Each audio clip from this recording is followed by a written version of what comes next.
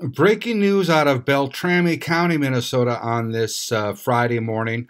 Uh, we have emergency responders just after 7 a.m. going to a report of an ATV crash uh, where a male may have been uh, lying in the ditch all night. Here's some of that uh, radio traffic. ATV rollover that occurred sometime late during the night. 46 year old male was just found laying in the ditch.